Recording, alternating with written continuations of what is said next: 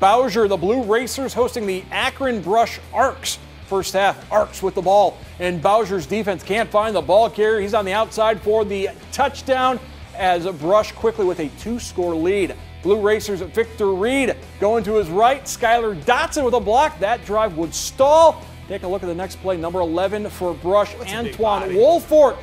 He's using that 6 7 as Bowser falls 45 0